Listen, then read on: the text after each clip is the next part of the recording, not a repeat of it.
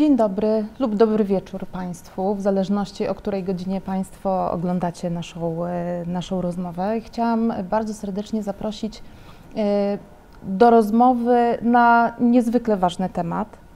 E, będziemy poruszać dzisiaj w naszej, mam nadzieję, dyskusji burzliwej, ale, ale fascynującej problem transplantologii. Chciałabym, żebyśmy porozmawiali o y, tej fascynującej dziedzinie medycyny, która jednocześnie jest bardzo stara, bo wiemy, że już starożytni Egipcjanie, y, Grecy, Rzymianie y, mieli taki pomysł, że można by skorzystać z mm, organów pobranych od, od, y, innych y, osób, kiedy coś się y, działo ze zdrowiem, a jednocześnie jest bardzo młoda, bo ta współczesna transplantologia to jest kilkadziesiąt ostatnich lat, dopiero rozwój technologii nauki pozwolił, żeby wykorzystywać konkretne narzędzia i osiągnięcia tych nauk właśnie przy przeszczepianiu y, organów. A spotykamy się y, dzisiaj, ponieważ 26 stycznia przypada ogólnopolski dzień transplantacji i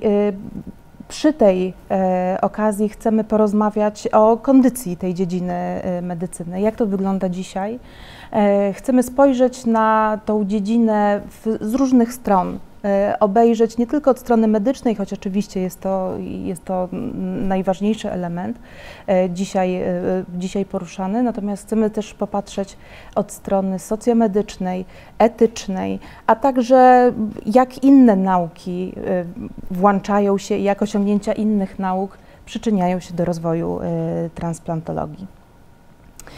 Nasze dzisiejsze spotkanie jest możliwe dzięki inicjatywie i wspaniałej organizacji Biura Promocji i Popularyzacji Nauki UMCS, a organizatorami są e, Uniwersytet Marii Curie Skłodowskiej w Lublinie, Uniwersytet Medyczny, e, bardzo, za co bardzo dziękujemy. Mm, I jesteśmy wdzięczni, że o tak ważnym, e, ważnym temacie możemy, możemy porozmawiać w takim gronie. A moimi gośćmi e, są, pozwolicie panowie, że w kolejności alfabetycznej e, panów przedstawię, e, doktor habilitowany Mariusz Barczak, profesor UMCS, pracownik Katedry Chemii Teoretycznej. Zajmuje się innowacyjnością, też aktywnie działa w Stowarzyszeniu Top 500 Innovators. E, którego był członkiem zarządu w latach 2017-18, ale też e, jednym z mentorów w trzech ostatnich edycjach największego programu mentoringowego w Polsce Top Minds. I wspomnę tutaj o ostatnim projekcie y, pana hydrożele usieciowane hierarchicznie, projektowanie teoretyczne i doświadczane dla zastosowań biomedycznych. E, dzień dobry. Dzień dobry Pani, dzień dobry Państwu. E, pan doktor habilitowany Włodzimierz Piątkowski, profesor nadzwyczajny UMCS, kierownik Katedry Społecznych Problemów Zdrowotności w Instytucie Socjologii Uniwersytetu Marii Curie Skłodowskiej w Lublinie. E, do kluczowych e, obszarów jego zainteresowań naukowych należą socjologia zdrowia, promocja zdrowia, socjologia medycyny, socjologia lecznictwa niemedycznego, ekosocjologia. W 2001 roku został wybrany na przewodniczącego sekcji socjologii medycyny Polskiego Towarzystwa Socjologicznego. Pełnił tę funkcję do roku 2013 i jest koordynatorem Europejskiego Towarzystwa Socjologii Zdrowia i Medycyny. Profesor doktor habilitowany y, Sławomir y, Rudzki, lekarz. E, pracownik e, Katedry i Kliniki Chirurgii Ogólnej, Transplantacyjnej i Leczenia Żywieniowego Uniwersytetu Medycznego w Lublinie, wojewódzki konsultant na terenie województwa lubelskiego Centrum Organizacyjno-Koordynacyjnego do Spraw Transplantacji Poltransplant w dziedzinie transplantologii klinicznej, prezes Polskiego Towarzystwa Żywienia Klinicznego, transplantolog, kierownik Kliniki Chirurgii Ogólnej, Transplantacyjnej i Leczenia Żywieniowego SPSK 4 w Lublinie. I ksiądz profesor e, Andrzej Szostek, duchowny rzymskokatolicki, członek Zgromadzenia Księży Marianów Niepokalanego Poczęcia Najświętszej Maryi Panny, filozof, etyk, pracownik Katedry Etyki na Wydziale Filozofii i Socjologii UMCS, wiceprezes Lubelskiego Towarzystwa e, Naukowego. Jego główne zainteresowania badawcze skupiają się wokół racjonalnych postaw etyki, myśli etycznej oraz antropologicznej Jana Pawła II, problematyki sumienia oraz niektórych kwestii z zakresu etyki szczegółowej. E, witam Panów bardzo, bardzo serdecznie. Jeszcze raz dziękuję za przyjęcie, za przyjęcie zaproszenia. Ja nazywam się Magdalena Bis, jestem psycholożką, e, psychoterapeutką, a na co dzień koordynuję pracę Biura Rozwoju Kompetencji e, na Uniwersytecie Marii Curie Skłodowskiej w Lublinie. I rozpoczynając naszą rozmowę, przyznam, że y, data 26 styczeń to nie jest y, data przypadkowa dla, dla tego spotkania, y, ponieważ to właśnie 26 stycznia przypada ogólnopolski dzień transplantacji. Jest to data, która upamiętnia pierwszy udany przeszczep nerki w 1966 roku. E, od tego czasu minęło kilkadziesiąt lat. E, panie profesorze, co zmieniło się od tego czasu? W jakim miejscu dzisiaj jest polska transplantologia? Zmieniło się bardzo wiele. E, o ile w tamtym okresie czasu, kiedy pionierzy naszej transplantologii polskiej i właściwie pionierzy transplantologii na świecie, bo pierwszy przeszczep w Polsce, pierwszy przeszczep nerki, który został wykonany w Warszawie przez profesora Nielubowicza, przy współudziale pana profesora e, Orłowskiego, internisty naszego. E, to była e, operacja dość wczesna jak na tamte czasy, tylko 10 lat później od w ogóle pierwszego przeszczepu nerki. Także, także tutaj Polska bardzo no, szybko włączyła się w ten ogólnoświatowy trend leczenia pacjentów przy użyciu narządów pobranych od zmarłego. Natomiast rzeczywiście wtedy ta medycyna była troszkę inna niż teraz. Przede wszystkim nie było y, takich, takiej wiedzy na temat immunologii, a zwłaszcza leków, które y, pomagałyby opanowywać problemy związane z odrzucaniem obcej tkanki, bo przecież nerka jest obcą tkanką dla organizmu biorcy. Dopiero wprowadzenie pewnych leków to było w połowie lat 80., które E, pozwalały na e, pokonywanie e, układu immunologicznego, czyli wytłumienie reakcji biorcy, stworzyły warunki na to, żeby wyniki przeszczepienia były lepsze, ale wracając jednak do tego pierwszego przeszczepu, należy powiedzieć, że ten przeszczep był ogromnym przeżyciem dla tych, którzy je wykonywali, dla całego środowiska, no i był to jednak taki krok milowy. Także, także te, te y, y, zdarzenia, które miały wówczas miejsce, y, zapoczątkowały pewną pracę, stworzyły też grupę wtedy jeszcze bardzo młodych ludzi, którzy pod przewodnictwem swoich seniorów rozpoczynali pracę, a którzy stworzyli pewne dzieło w Polsce, no niestety też musieli zakończyć też tą swoją pracę. Kolejne pokolenia przechodzą, ale ta transplantologia rozwija się w Polsce nadal i myślę, że ta metoda leczenia, która na pewno nie jest eksperymentem, ale już utrwaloną, zaakceptowaną przez cały świat metodą leczenia, y, będzie się nadal rozwijała. Y, problem jest y, może już nie nawet w technice, chociaż technika, na pewno pan docent będzie mówił o tych rzeczach, bo mm, słyszałem właśnie, zaczyna się angażować w te rzeczy, które dla nas zwykłych lekarzy jeszcze są trochę tajemnicze, ale y, bo są już takie y, y, próby stworzenia sztucznego narządu albo narządu, który będzie prawie sztuczny. Na razie się jeszcze do końca to nie, nie sprawdza. Niemniej takie nadzieje też możemy mieć. Natomiast to, co nas w tej chwili zadowala, to jest jednak doskonała immunosupresja, którą możemy stosować.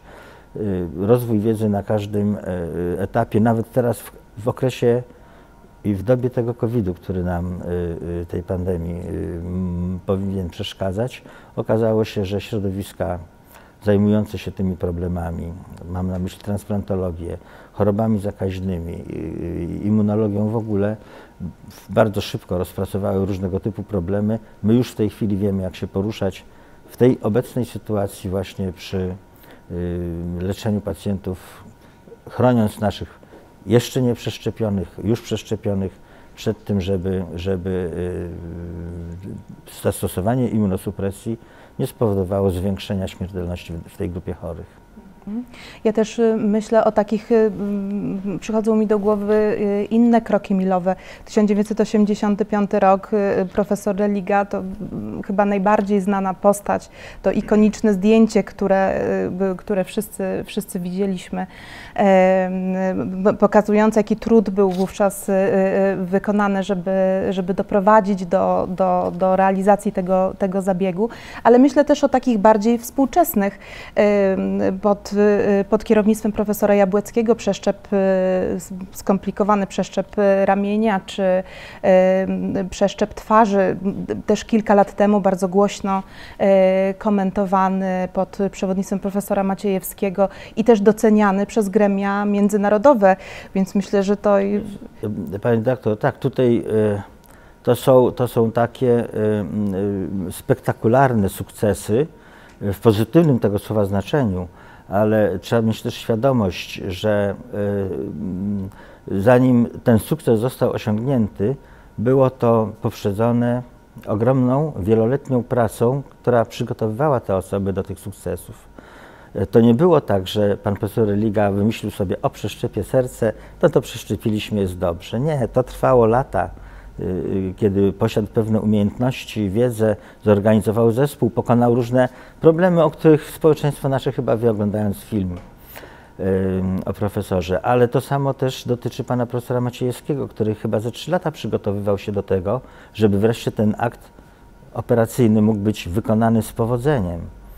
Także to jest, to jest um, trudna bardzo działka medycyny, ale jednocześnie przy odpowiednim wsparciu no i możliwościach, które są związane z poświęceniem czasu, y, pracy nad tym, żeby to osiągnąć, bo y, wykonanie przeszczepu twarzy to jest jedna operacja, oczywiście bardzo wiele godzin trwająca, y, związana z różnymi problemami też i prawnymi. Dlaczego teraz nie będę uciekał, ale ale y, żeby to wykonać, to trzeba było parę lat popracować y, w, cieniu laboratorium, w cieniu pracowni, y, symulacji komputerowej. Bardzo złożony proces. I dopiero po tych miesiącach, czy nawet latach pracy wreszcie jest ten sukces, który, który wieńczy to dzieło. No, ale to ale... stawia też polską transplantologię, myślę, że na europejskim, jeśli nie możemy powiedzieć światowym tak. ja, poziomie. Jeżeli w ogóle mówimy o transplantologii po, w Polsce, to ja bym chciał od razu powiedzieć, że w każdej dziedzinie tej transplantologii, czy to będzie y, przeszczepianie nerek, czy przeszczepianie wątroby, czy te y, y, rzadsze, powiedzmy sobie, fragmenty, tak jak przeszczepienie twarzy, to transplantologia polska cały czas jest w czołówce światowej. Jeśli chodzi o między innymi wyniki leczenia, my mamy doskonale to wszystko zorganizowane. To było przez całe dekady właściwie organizowane, od pierwszej ustawy tej, która um, umożliwiała w ogóle taką um, prawda, aktywność zawodową.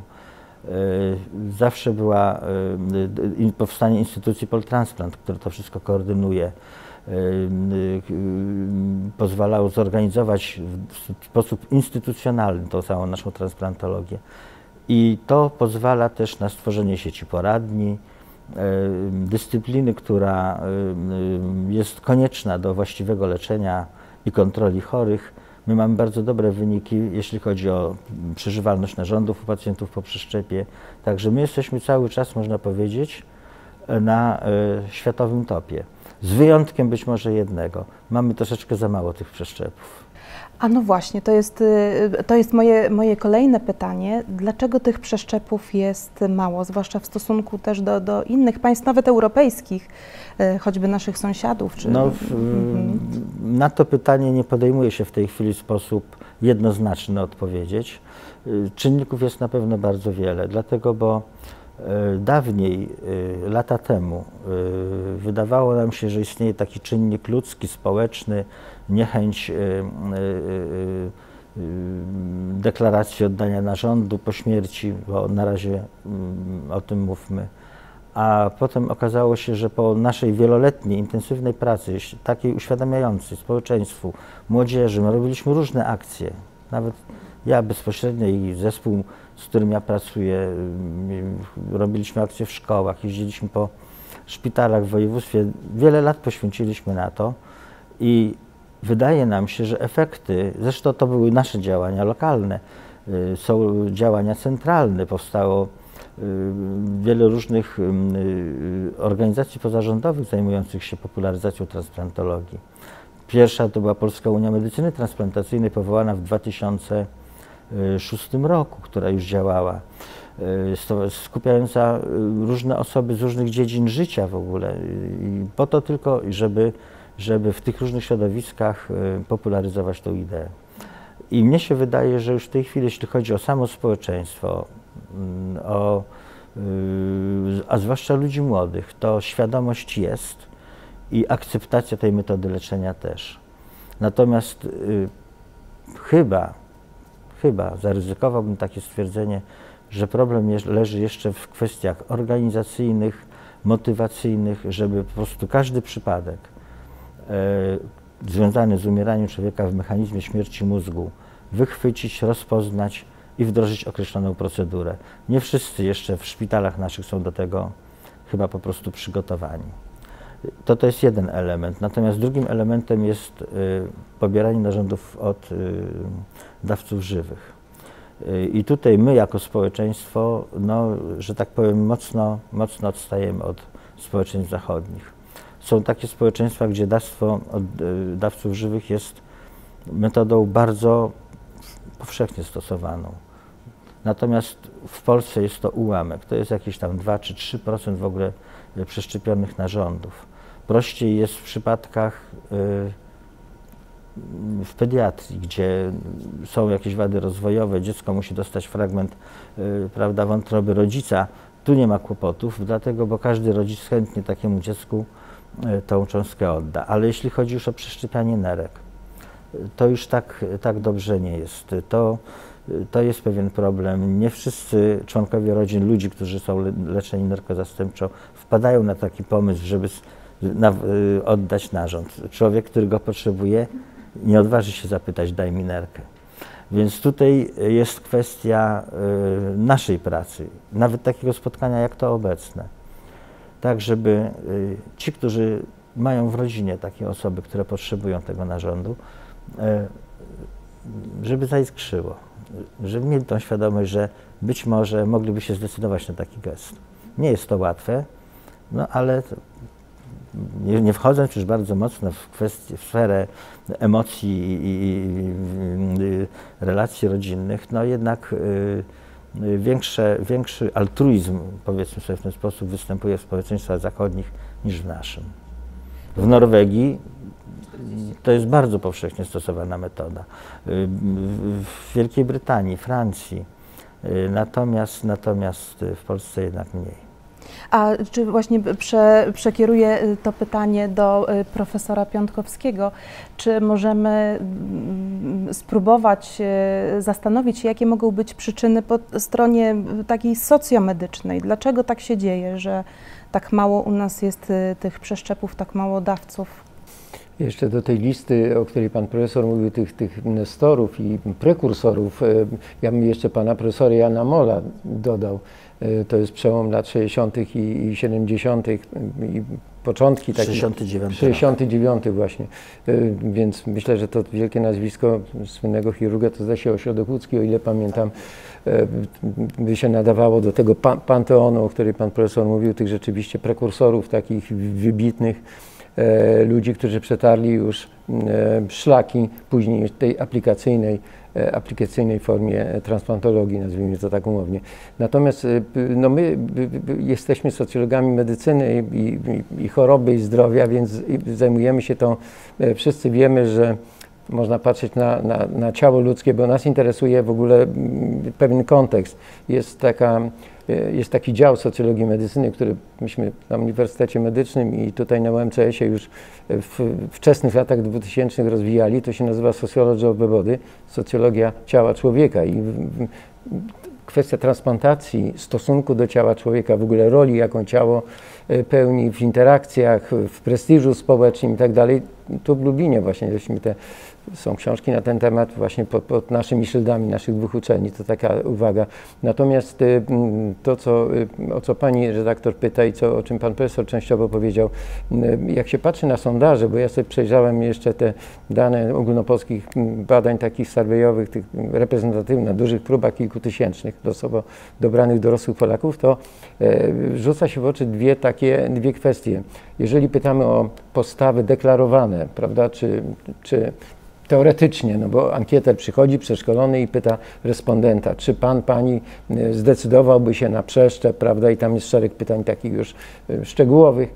No więc y, ten poziom de deklaracji pozytywnych jest mniej więcej od 20 lat sięga od 76 do 80 kilku procent. Tam są różnice między ludźmi na przykład głęboko wierzącymi a ateistami ateiści są bardziej skłonni do tych decyzji, mimo że, to pewnie ksiądz profesor o tym powie, że Kościół już od ponad 20 lat e, jest jednoznacznie pozytywnie nastawiony do, do tej kwestii e, i nie tylko nie wyraża sprzeciwu, ale raczej nawet w takiej czy innej formie zachęca. Więc więc zwróciłbym uwagę właśnie, że, bo to jest problem tych barier, prawda, że formalnie rzecz biorąc, patrząc na te wyniki statystyczne, większość ludzi jest za, tak, natomiast, natomiast tak. rzeczywiście na poziomie realnego życia społecznego jest tych mało dawców. My rozmawiamy teraz, bo teraz są kłopoty w ogóle z dotarciem do, do respondentów, bo nam COVID przed, ale robiłem takie badania fokusowe i takie jakościówki e, różnego typu. Na przykład na co ludzie zwracają uwagę, jak te nowe bariery. Y, zwracają uwagę na to, że y, jest powszechny trend do kremacji prawda, że w ogóle ludzie mają w tyle głowy. Ja mówię o, nie o swoich opiniach, tylko to, co ludzie mówią, prawda, czyli, że tak powiem, y, takie zdroworozsądkowe opinie popularne, które są rozpowszechnione. Druga sprawa to jest to, że ludzie uważają, że przeszkodą jest to, że jest infekcja covidowa, że są bezobjawowe covidy, prawda, i że to może z ich punktu widzenia, prawda, tak jak jako niefachowcy, bo, bo, wybieramy ludzi, którzy nie są specjalistami. To jest taki drugi powód. A trzecia rzecz, która się tutaj pojawia w tych wypowiedziach z ostatnich dwóch, trzech lat, w tych takich wywiadach pogłębionych, to jest to, że ludzie coraz bardziej boją się handlu narządami i w ogóle cały ten problem, być może to jest nagłośnione przez internet, czy jakieś takie filmiki, które oglądamy, zmanipulowane lub nie, no to zostawmy to na osobną dyskusję, ale te trzy, trzy powody chyba w tyle głowy ludzie mają. Teraz oczywiście jest pytanie, na ile to wpływa na tą ostateczną decyzję, ale ja tylko relacjonuję, co rejestrujemy w tych takich jakościowych badaniach, gdzie pytamy o y, stosunek do transplantacji, implantacji, prawda, i w ogóle do transplantologii szerzej, oczywiście nie używając tych terminów medycznych, tylko raczej opisowo, prostym językiem się posługując.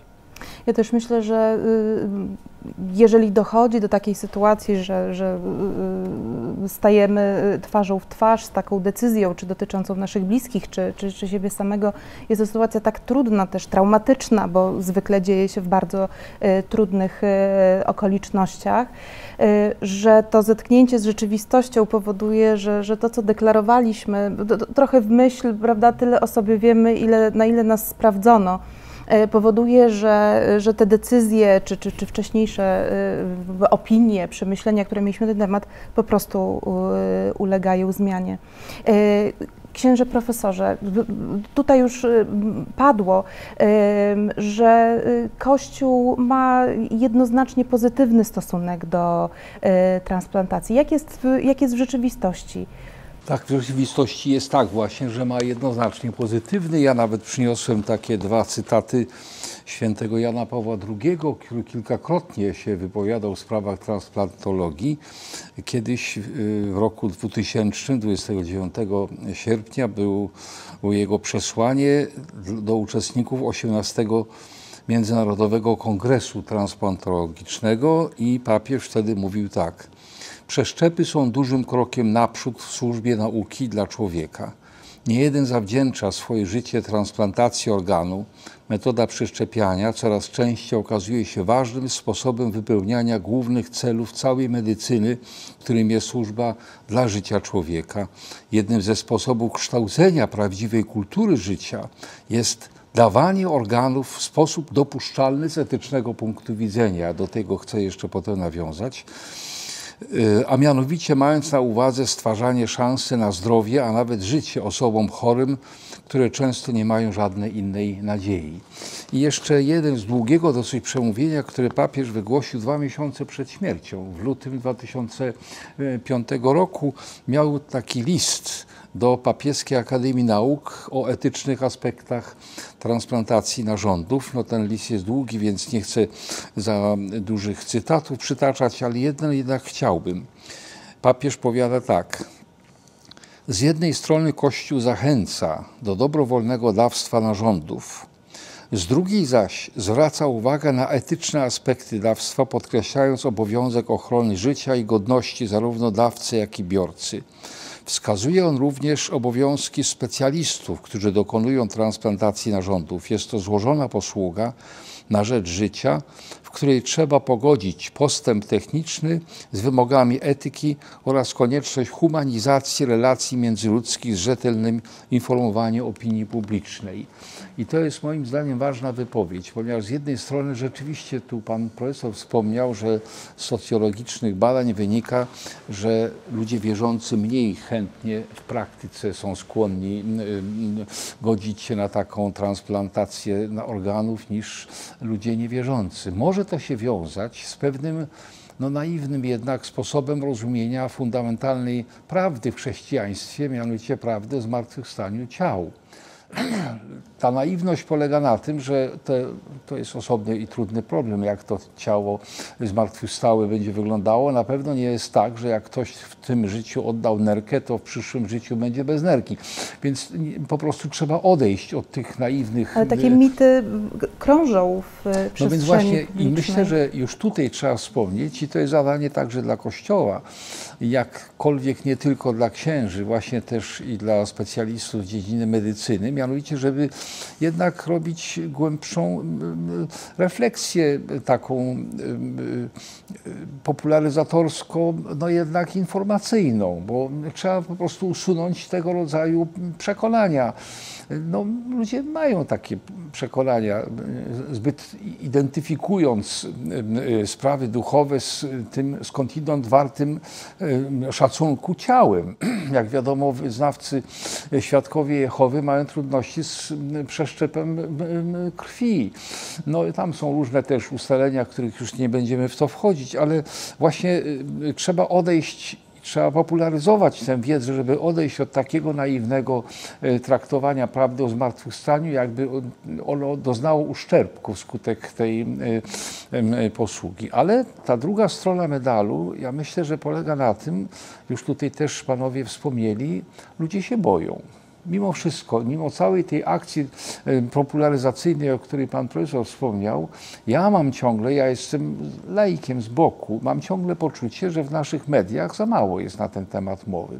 Za mało jest pokazanie tych dobrych stron tej transplantologii, która się tak w ostatnich latach rozwija, także za mało jest przywoływania takich autorytetów jak święty Jan Paweł II, który jednoznacznie, jak widać, uznawał wielką wartość transplantologii, ale kiedy mowa o tych etycznych aspektach, ja myślę, że wchodzą w grę dwie rzeczy. Z jednej strony, o czym już była mowa, niebezpieczeństwo wykorzystania w sposób niegodny, handlowy tych. No, ja wiem, że w niektórych krajach takie doniesienia są, nie naszych nie europejskich, demokratycznych, ale gdzieś tam z Bliskiego Wschodu przychodzą informacje o tym, że ktoś dokonuje po prostu handlu nerkami albo innymi organami ludzkimi. I to jest oczywiście rzecz, która jest w naszym prawodawstwie zakazana, to można to sprawdzić. U nas w ogóle jest taka, takie, jeśli ja to dobrze doczytałem, prawo, że jeśli ktoś nie wyraził w ciągu życia żadnej deklaracji na temat y, y, tego, czy można dysponować jego ciałem po śmierci, to dopuszczana jest prawnie domyślna zgoda. Zgoda domyślna zgoda na tego rodzaju operacje. Ale mówię, jedna strona to jest, jest ten handel, którym się boją ludzie po prostu, żeby był w taki sposób wykorzystany, a druga sprawa to jest jest jednak bezpieczeństwo i jakaś poczucie właśnie fachowości, dobrej prze, takiej procedury, która przeszła przez odpowiednie próby medyczne i e, która cieszy się pewnym uznaniem. To zawsze człowiek, jak przystępuje do leczenia, gdzieś tam z tyłu głowy ma pewne obawy. Dzisiaj to e, widzimy, jak trudno nam przezwyciężyć te obawy antyszczepionkowców w stosunku do COVID-19. To jest zawsze problem i dlatego moim zdaniem niezwykle ważnym wyjściem jest edukacja jest jednak edukacja, zarówno ludzi młodych, pan profesor wspomniał, że młodzi mają mniejsze jakoś opory i to pewnie dlatego, że jeszcze są młodzi. Z czasem to może trzeba będzie to utrwalać, ale wyjaśnianie pewnych rzeczy, uspokajanie ludzi, pokazywanie, gdzie rzeczywiście jaki jest procent, uczciwe informowanie, jaki jest procent niebezpieczeństwa, na które się człowiek naraża, wtedy jest szansa, żeby tę praktykę która w Polsce, no właśnie, deklarowana jest, a praktykowana nie jest tak, jakby powinna. Także korzystania z żywych narządów. Przecież to nie chodzi tylko o nerki, także o przeszczep szpiku kostnego i skóry i tam różnych innych organów i tkanek, żeby miał y, u nas jakoś większe praktyczne powodzenie. To jest wielkie zadanie, moim zdaniem także dla Kościoła. Właśnie w imię tego, y, że jest to jednak nie tylko osiągnięcie medycyny, ale wielka służba człowiekowi. Wielka służba człowiekowi. E, ja jeszcze na chwilę chciałam przenieść się do innego y, wymiaru i zapytać pana profesora, bo to, o czym rozmawiamy, jest bardzo ważne, jeszcze, jeszcze, jeszcze wrócimy do, do tego aspektu. Ale chciałam się zapytać, bo wyobrażam sobie, że właściwie dzisiaj chyba żadna dziedzina nauki nie jest jakimś takim samotnym elektronem y, y, krążącym. W jaki sposób medycyna, w szczególności transplantologia, może korzystać z wiedzy profesora chemii? E, generalnie w jaki sposób medycyna i inne nauki mogą czerpać z siebie nawzajem. I to jest bardzo ważne pytanie, bo obserwujemy olbrzymi postęp technologii. Postęp, który nie potrafimy sobie de facto wyobrazić, co będzie za kilka lat. A tutaj też dzieje się bardzo dużo rzeczy w naukach ścisłych i one dość szybko są również przekładane na pole transplantologii. Ja tutaj mówię o przeszczepach nie tyle pobranych od dawców, tylko na przykład o sztucznie wyhodowanych organach bądź też y, drukowanych narządach, tak, w technologii 3D, na przykład technologia druku 3D, to już jest taka technologia, która stopniowo pozwala nam drukować różnego typu organy, tak? E, oczywiście jest wciąż wiele przeszkód, e, jest wciąż wiele rzeczy, które należy rozwiązywać. Wszystko rodzi się w bólach. E, do niedawna takim problemem było, no bo używamy tam przecież e, tuszy złożonych z żyjących komórek i to z reguły komórek biorcy finalnego przeszczepu, co z kolei eliminuje to, co powiedział pan profesor, e, wszystkie ewentualne odrzuty i, i immunosupresyjne, e, konieczność używania immunosupresyjnych leków i tak dalej. E, do niedawna takim problemem było to, że te tusze, biotusze trzeba utrzymać w określonych warunkach, żeby te komórki wciąż były żywe to udało się pokonać. E, to co, to, co przed czym stoimy, to jest ta złożoność organów ludzkich wciąż, tak? Że okazuje się, że nie wystarczy wydrukować złożonego z komórek fragmentu wątroby, bo to, co mają naturalne tkanki, to jest to unaczynienie, waskularyzacja, dużo, e, dużo żył, tak, e, naczyń, naczyń włosowatych, nerwów, tak, i ten stopień złożoności jeszcze wciąż powoduje, że ten druk 3D nie wszedł, ale to są technologie, ja widzę, że za 5-7 lat to, to, to, będzie, e, to będzie medycyna ówczesnego dnia dzisiejszego. W przyszłości korzystanie z takich, e, z takich sztucznych, sztucznych i niesztucznych, tak? bo my pomagamy własnym komórkom własnym komórkom biorcy e, po prostu urosnąć w odpowiedni sposób. Ja tu miałem dużą przyjemność być e, włączonym w takie badania u moich hiszpańskich kolegów. Tak zresztą zaczęła się moja przygoda, bo jako chemik pracowałem z hydrożelami, czyli takimi bardzo biokompatybilnymi materiałami i wyjeżdżając do Hiszpanii zobaczyłem, że oni z tych hydrożeli zajęło im to 8-10 lat, ale aktualnie mają opatentowaną sztuczną skórę. Polega to na tym, że od pacjenta pobiera się wycinek powiedzmy 4 cm skóry i namnaża się ją y, komórki na specjalnym rusztowaniu hydrożelowym. E, Co ciekawe, można je namnożyć tak jak kanapkę, to znaczy w górnej warstwie można namnożyć górne e, te komórki skóry, które mamy na powierzchni, czyli keratynocyty, na dolnej możemy, możemy fibroblasty i zrobić i taką kanapkę możemy przeszczepić. I, i ryzyko odrzutu praktycznie nie istnieje, bo to jest e, własna, własne komórki tej osoby. Więc te nauki, e, te nauki, e, myślę, nauki ścisłe bardzo mogą w tym momencie wspomóc medycynę i z pewnością będą, bo, bo w obecnych czasach bardzo szybko czerpiemy tak, z osiągnięć techniki. Często być może nie zastanawiając się nad tym, też na pewno pojawi się sporo kwestii etycznych, tak, bo, bo ta ingerencja może być coraz większa, tak, możemy pobierać nie tylko komórki, ale generalnie tak, myślę, że technologia, że ta transplantologia jutra to będzie transplantologia, o której rozmawialiśmy do tej pory, e, powiększona o jeszcze pewnego rodzaju opcje. Y, To daje ogromną nadzieję, m- myślę, to co, to co mówi pan profesor. Mo, moim zdaniem tak, moim zdaniem to już będzie trochę konieczność, bo oprócz tych wszystkich mm, powodów, o których wspomnieliśmy, trudności, jest jeden też generalny powód, e, dla którego transplantologia może taka e, w tym rozumieniu, o którym, e, o którym rozmawialiśmy, może być coraz trudniejsza. I ten powód jest paradoksalny. On polega na tym, że medycyna jest coraz lepsza. Ratujemy pacjentów czy z wypadków samochodowych, a to są przecież głównie dawcy organów. Potrafimy coraz, coraz lepiej, bardzo dobrze ratować. Oni przeżywają te wypadki, co z drugiej strony powoduje, że ta liczba narządów do, e, do transplantacji będzie coraz bardziej ograniczona. I, I to wymusi wręcz, e, uważam, w przyszłości rozwój właśnie e, technik, technologii opartych na, na bionicznych tkankach, na takich naturalnych, ale wyhodowanych na, na specjalnie skonstruowanych rusztowaniach, narządach, tkankach.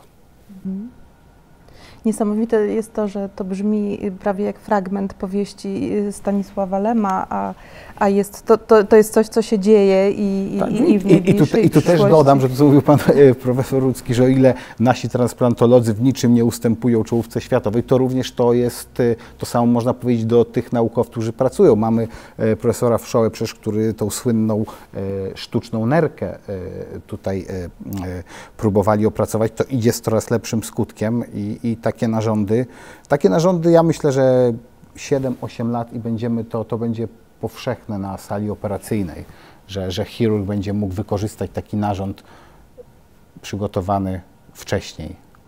To bardzo dobra wiadomość. Patrząc na, na ogromny postęp, y, który, który się dokonuje w ogóle w technologiach, y, no proszę Państwa, jak ja zaczynałem pracować, to jeszcze nikt nie wiedział, że będą telefony komórkowe. A w tej chwili okazuje się, że, że już nie nadążam za tą nowoczesnością. Także to, y, to jest taki może prozaiczny przykład, ale jednak postęp jest przeogromny i y, jest to jakaś y, nadzieja dla, dla nas, ludzi, dla, dla ludzi chorych, że ta, te wspaniałe, nowoczesne technologie pozwolą pokonać coś, co dla nas w tej chwili jeszcze jest nawet niewyobrażalne. Także, także należy w to wierzyć i myślę, że tak będzie. Właśnie dzięki takim osobom jak pan profesor to- mamy, to mamy, mamy taką, y, taką y, opcję. Zresztą tak, myślę, że te, te rzeczy się dzieją. Nie wszystko wiemy, bo y, czasami do mediów dociera jakaś informacja, że ktoś coś próbował zrobić, a nie wyszło. Z kolei jakiś drobiazg wyjdzie, ktoś wychwycił, że wyszedł i opublikuje. Natomiast ci, którzy zawodowo się tym zajmują, mają największą wiedzę na ten temat. To ja nawet się nie, nie podejmuję bardzo tutaj jeszcze dyskutować z panem Oczywiście, dro, profesorem. dro, droga jest Bo, bardzo bo długa. nie to- wszystko, bo tak, nie wszystko tak. nawet wiemy, co jest jeszcze możliwe. Natomiast jeśli mógłbym się jeszcze odnieść do jednej rzeczy, bo proszę Państwa, y, nie jest to pierwsze, y, ufam, że może nie ostatnie, ale moje spotkanie y, tego typu. Ja, jak zostałem kierownikiem kliniki, od początku rozpocząłem działalność, a to już jest 20 lat, informacyjną, popularyzacyjną i z różnymi kontekstami tych, kontekstami tych no, spotkań się spotkałem i też wielokrotnie uczestniczyłem i w programach radiowych i telewizyjnych, gdzie był poruszany temat y, handlu narządami. Chciałem tylko powiedzieć w ten sposób, że Y, Są osoby, które by chciały y, zaistnieć gdzieś w- mediach, mówiąc o tym problemie, bo problem jest chwytliwy, prawda, handel narządami. Chcę powiedzieć, że system zorganizowany w Polsce i kontrola nad tym, co my robimy, mówię my w szerokim tego słowa znaczeniu, lekarze, administratorzy, nie uniemożliwia w ogóle coś takiego jak y, y, nielegalne pobranie, y, jakiś handel, przeszczepienie. Także, także to nie wchodzi w ogóle w grę. Ale, ale ktoś, kto na przykład da ogłoszenie, sprzedam nerkę, kupię nerkę, Zresztą niedawno była taka sprawa, y, jakaś osoba została ukarana w sprawie karnej za takie ogłoszenia. To, że ktoś takie ogłoszenie daje, to nie znaczy, że proceder istnieje. Możemy sobie różne rzeczy ogłaszać. Czy to znaczy, że to jest? Oczywiście, że nie.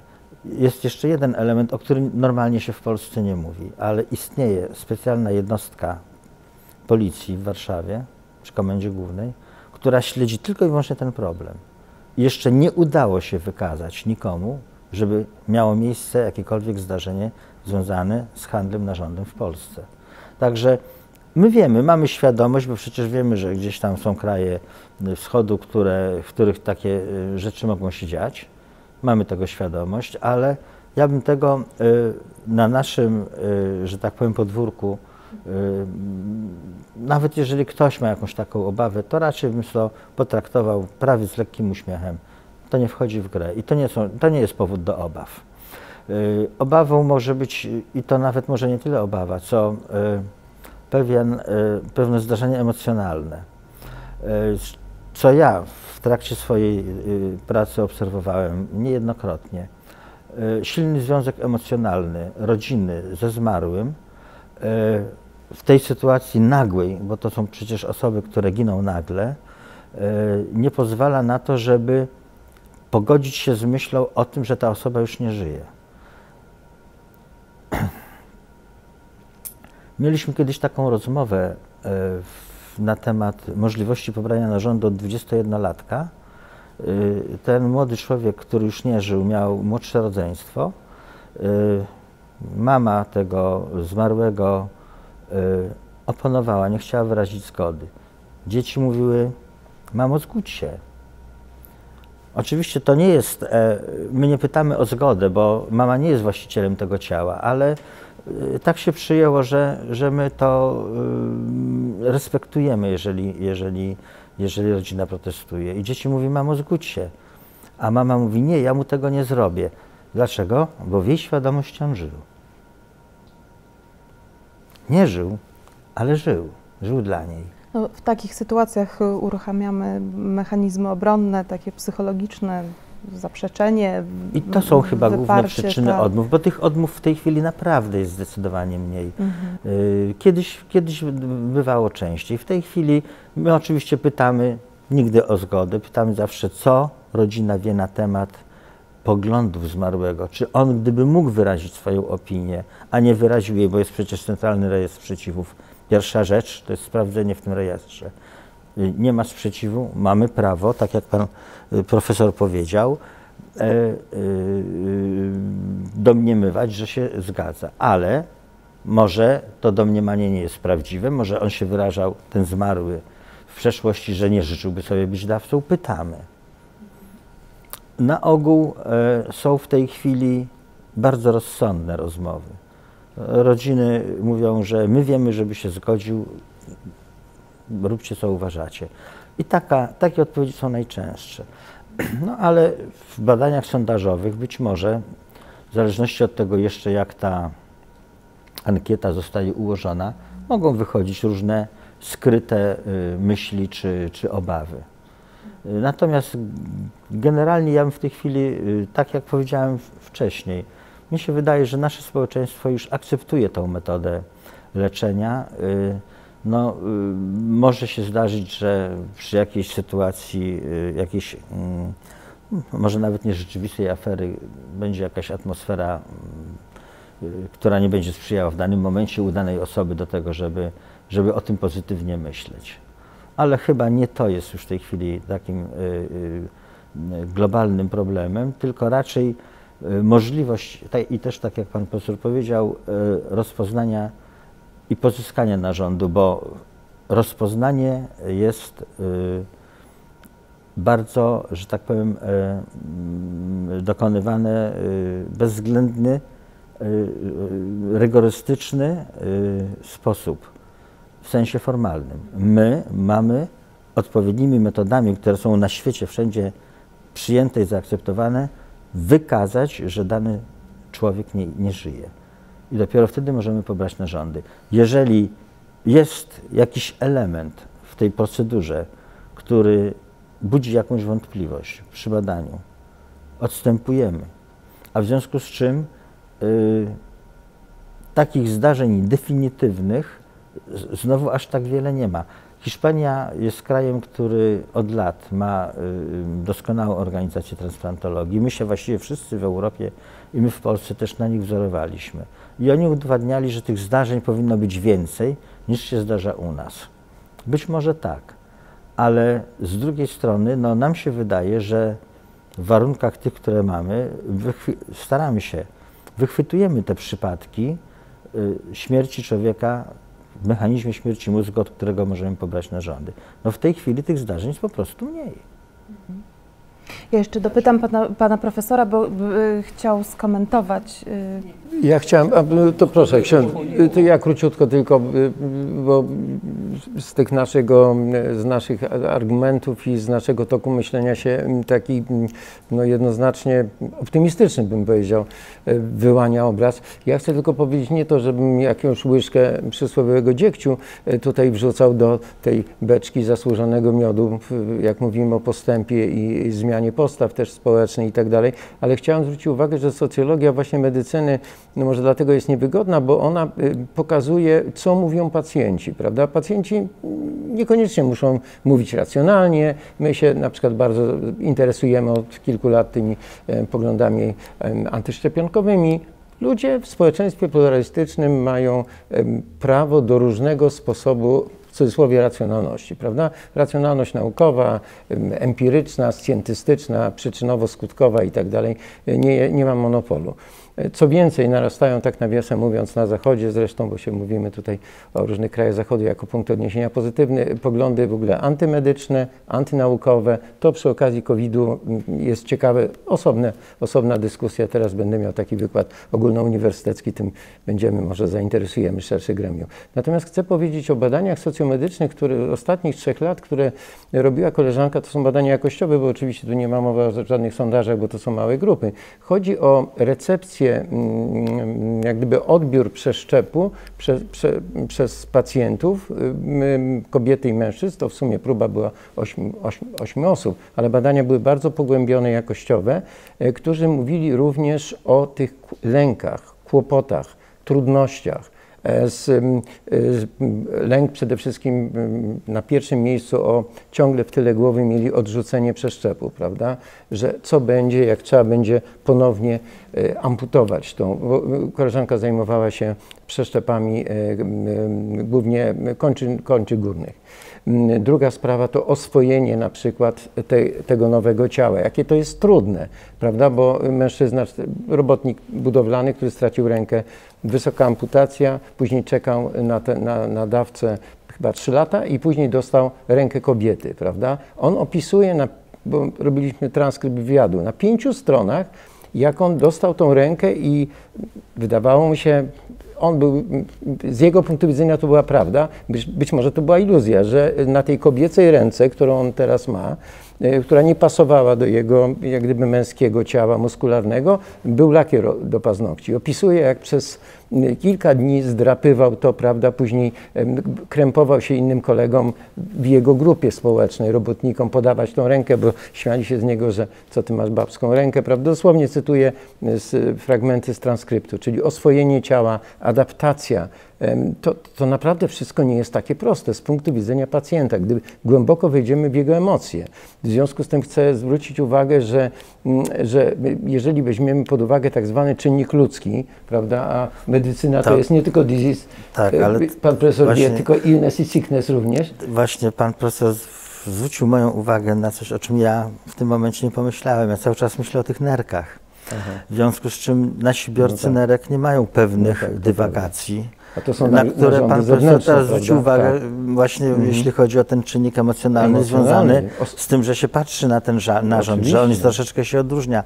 Tu człowiek ma wszczepiony narząd, y, który ma Wewnętrzny, wewnętrznie transplantacja funkcjonować to i się specjalnie mocno Nie y, tym, tak, nad tym nie zastanawia. tu jest ręka, panie profesorze, to jest to całkiem obraz, kompletnie inny, prawda? kompletnie inny problem w ogóle. problem Także to jest ta wysoka- transplantologia to no nie jest właśnie, tylko tak, jak ja myślę, narząd Wydaje mi, się, że, wydaje mi się, że to jest, to jest tak. prawda? Tym bardziej, że techniczne możliwości są coraz lepsze, coraz więcej jest takich przeszczepów, które jak gdyby burzą wizerunek, właśnie jak gdyby tożsamość, prawda? Bo ci ludzie To też po, mówili, kim ja podobna, jestem. była, podobna była historia i pan ksiądz profesor też na pewno y, y, y, mógłby to skomentować, ale jak przed pierwszymi przeszczepami serca, y, które już zaczęły być po tym pionierskim przeszczepieniu potem wykonywane, rozpętała się ogromna dyskusja w mediach y, światowych y, na temat w ogóle etyczności przeszczepienia serca.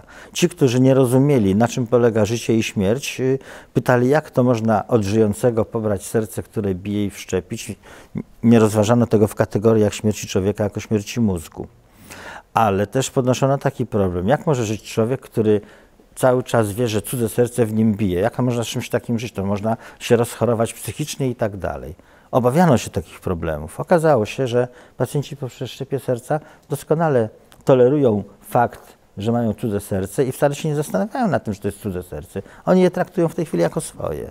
Ja myślę, że to też Ale też pokazuje, to że takie spotkania, jak, jak dzisiejsze nasze spotkanie, czyli spojrzenie na, na tą samą sprawę z różnych e, punktów widzenia jest, e, jest bardzo ważne, bo widzimy, jak bardzo złożony i wielowymiarowy jest, e, e, jest proces transplantacji. Ja, ponieważ czas nam się kończy nieubłaganie, nie wiem kiedy, nie wiem kiedy minął, a poproszę jeszcze księdza Jeśli profesora o jeszcze komentarz. Tak, tak, najpierw jeszcze wracam do tej uwagi pana profesora trafnej i uspokajającej nas z, polskiego punktu widzenia, ale ja przypominam, papież w tych wypowiedziach, które przytoczyłem, mówi do całego świata. Niekoniecznie w całym świecie jest tak, jak jest u nas i on dlatego zwraca uwagę na te etyczne e, aspekty, o których trzeba pamiętać, wszystkim nam też. Oraz dlatego to wspomniałem, że niezależnie od tego, jak faktycznie jest, jak pan profesor mówi, nawet specjalna istnieje komórka policji, która tego pilnuje, ale jeśli jest taka komórka, to dlatego, że istnieje takie niebezpieczeństwo, inaczej by ta policja była niepotrzebna. Z tego mnie chodzi tylko o nastawienie ludzi, o to, że to, y, trzeba ciągle jakoś jednak popularyzować i tłumaczyć i wyjaśniać pewne rzeczy, bo inaczej będziemy właśnie ciągle cofnięci w praktyce tego przeszczepu, bo jak rozumiem, problem nie tylko polega na przeszczepie y, zmarłych osób, co do których możemy się domyślać, że mm, mm, y, nie wyrażają sprzeciwu wobec takiego sposobu wykorzystania ich ciała, ale jest to także problem własnej inicjatywy, gotowości przystąpienia do takiego leczenia, przełamania pewnych oporów. O niektórych oporach pan profesor wspomniał, ja wspomniałem o innych, takich właśnie, które się wiążą z jakimś trochę naiwnym i trochę jednostronnym pojmowaniem y, ważnej prawdy o zmartwychwstaniu ciał, żeby się go nie, nie naruszać. Myślę, że powtarzam, tutaj potrzebna jest pewna akcja dydaktyczna i popularyzatorska także przez Kościół podjęta, także taka, żeby właśnie uwolnić nas od takich obaw, które no, w socjologicznego punktu widzenia owocują tym, że ludzie niewierzący chętniej są gotowi y, dokonywać tego rodzaju przeszczepów niż wierzący, chociaż moim zdaniem powinno być co najmniej równo, jeśli nie odwrotnie, ponieważ to jest akt miłości w stosunku do człowieka, którego zdrowie w ten sposób y, ratuje. Także y, z tego punktu widzenia uważam, że ta akcja popularyzatorska i tłumacząca i troszkę nagłaśniająca jest ogromnie potrzebna dla tych ludzi, którym możemy życie leczyć. Również bardzo ważne jest to, co pan profesor wspomniał o tych możliwościach techniki, które się teraz pojawiają, które niejako zastępują tradycyjne transplantacje innymi, już nie będę ich omawiał, pan profesor lepiej wie jakie. I znowu trafiamy na pewne obawy ludzkie, które trzeba usłyszeć i cierpliwie ich wysłuchać, ale które trzeba spróbować uspokoić. Ludzie się boją wszystkiego, co nowe. Pan profesor wspomniał o różnych rodzajach racjonalności, a obawiam się, że niektóre z nich nie dałyby się utrzymać jako racjonalne te nasze postawy, na przykład w stosunku do przeszczepów, które mamy. Trudno mi znaleźć takie miejsce racjonalne, które by to usprawiedliwiały, ale nieważne, w tej chwili nie o tym mówimy. Rzecz polega na tym, że musimy y, y, sporo na ten temat rozmawiać, tłumaczyć, pokazywać te nowości, które się y, pokazują, bo jest coś takiego jak społeczna, to socjologowie lepiej wiedzą ode mnie, świadomość funk funkcjonująca w danym społeczeństwie. Ja mam ciągle wrażenie, może jestem zbytni pesymistą, że w naszej potocznej świadomości. Przeszczepy, transplantologia nie należy do takich dziedzin, które bez, bez mrużenia okiem, że tak powiem, sobie to połykamy, że się statystycznie, społecznie to jednak łączy z pewnym hamulcem w człowieku, z taką właśnie postawą ostrożności, takiej wycofania się pewnego i myślę, że to jest zadanie przed nami wszystkimi, przed nauką, przed medycyną, przed duszpasterzami. Ja mam przed sobą jeszcze wiele niezadanych y, pytań, y, ale mam nadzieję, że staną się one pretekstem do kolejnych spotkań, nie tylko przy okazji ogólnopolskiego Dnia Transplantacji, ale, ale przy innych okazjach, gdzie będziemy mogli rozmawiać i upowszechniać wiedzę na temat, y, na temat transplantacji i, i w jaki sposób ratuje, ratuje życie, jak się rozwija, jaka, jaka jest jej przyszłość. Bardzo Panom dziękuję za, za to dzisiejsze spotkanie ja od siebie y, na koniec y, dwa zdania, jeśli, jeśli mogę przekazać naszym, naszym odbiorcom. Zastanawiałam się, co możemy zrobić tu i teraz, żeby wesprzeć nie tylko ideę, ale też praktykę transplantologii, transplantacji, w, co może zrobić każdy z nas tu i teraz. I pomyślałam o tym, że po pierwsze każdy z nas może przygotować sobie oświadczenie woli, które może nosić gdzieś przy sobie jako, jako dokument ja wiem, że on prawnie nie jest y, usankcjonowany, niemniej jednak daje jakąś informację y, w sytuacji takiej y, granicznej. Możemy rozmawiać z naszymi rodzinami. Ja wiem, że to jest trudny temat i niechętnie go podejmujemy, ale czasami warto, żebyśmy wiedzieli, co nasi bliscy, jaki mają stosunek do, do dawstwa, do, do przeszczepu swoich organów przypadku, y, no, w przypadku jakiejś y, y, tragedii. I zachęcam do oddawania krwi. To jest coś, co przeszczepy nie mogą się odbywać e, bez odpowiedniej ilości krwi. E, zachęcamy, zachęcamy również do e, zapisywania się jako do bazy dawców szpiku też możemy w sposób y, nie naruszający do końca, w taki sposób y, drastyczny jak, jak przeszczep, podzielić się swoim, e, podzielić się życiem z innymi. Dziękuję bardzo. Dziękujemy. Dziękujemy bardzo. Dziękujemy, do widzenia.